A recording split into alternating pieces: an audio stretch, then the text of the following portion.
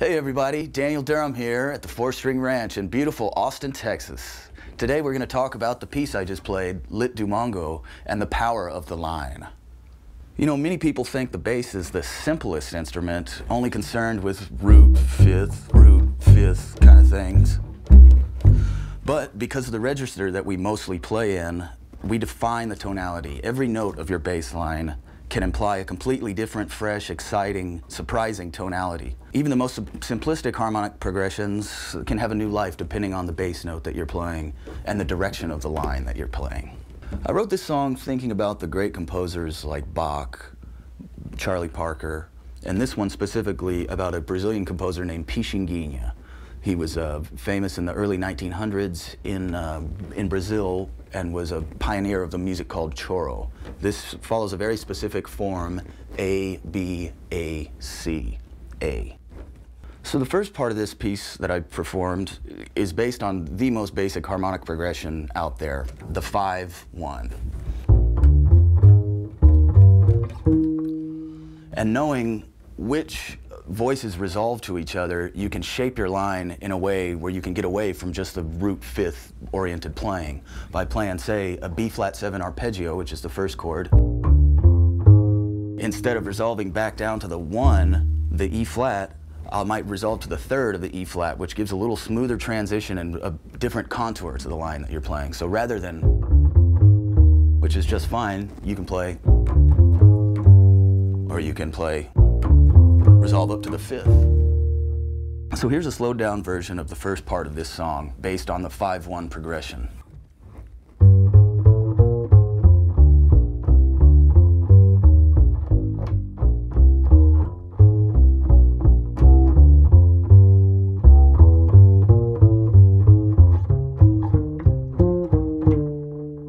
So here's how I use this melody to make the 5-1 progression a little more colorful and interesting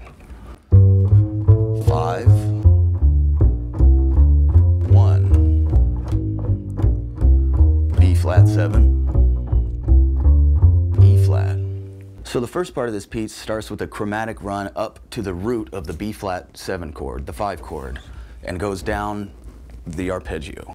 Chromatic up to B flat, the root, seventh, fifth, third, root, nine, third, fifth, and then when you switch to the E flat chord, instead of going back down to the E flat, you go up to the third of the E flat and play that arpeggio down. And within that, you resolve to the third of the E, e again. Fifth of the B flat, to the root of the B flat, to the third of the E flat. The first part we talked about was the A section. Here's the B section.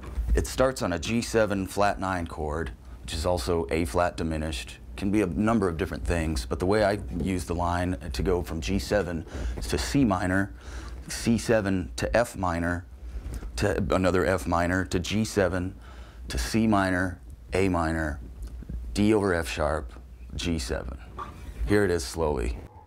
G7 flat 9, C minor, C7 flat 9,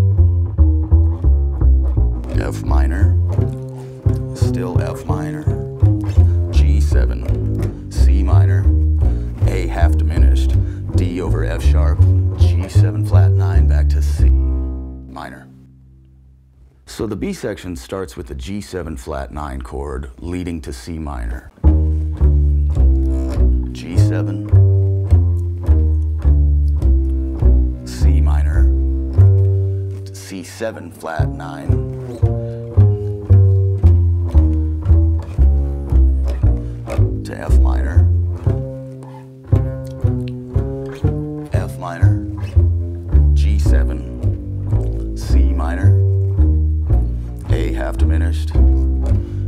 D7 over F sharp, G7 flat 9, back to C minor.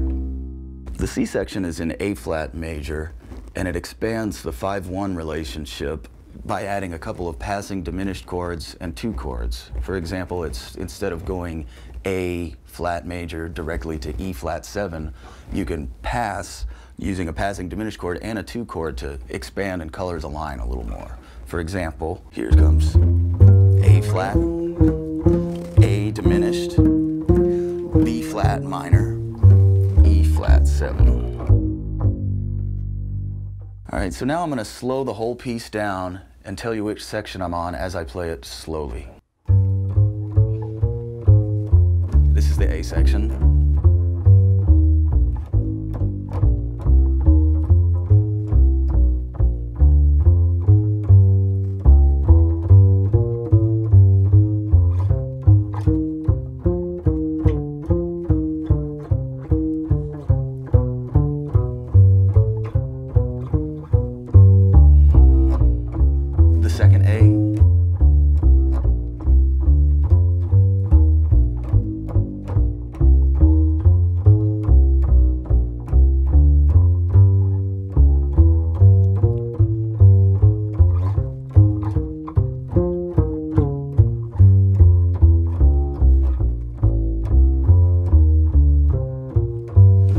to be.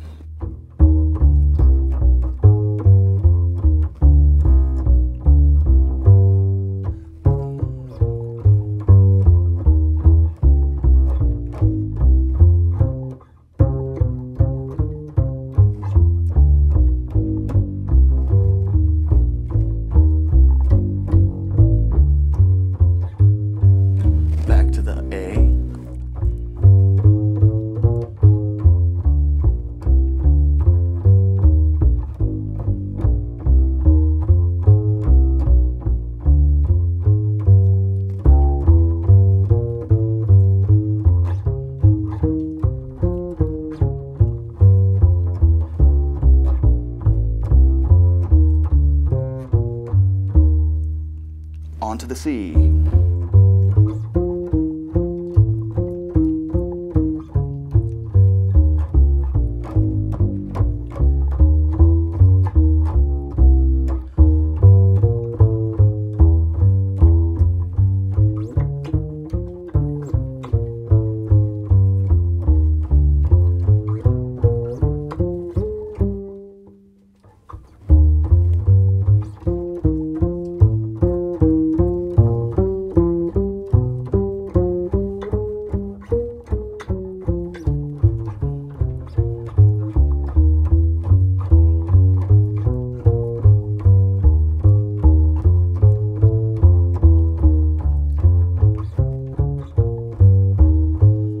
last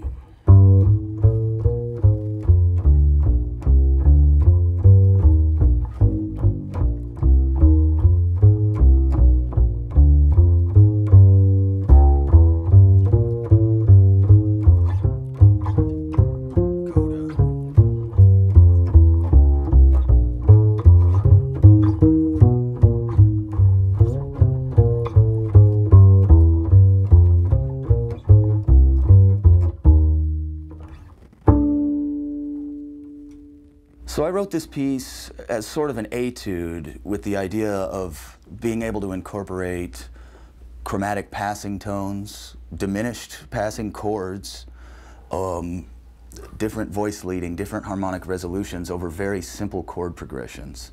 And these are important tools for a bass player to have because they really define your sound and the smoothness of the line that you're playing. If you like this piece and you'd like to hear more of my playing, check me out on YouTube. It's under just my regular name, Daniel Durham. And if you like this video, please give it a like and subscribe to 4stringranch.com. Till next time, keep it walking.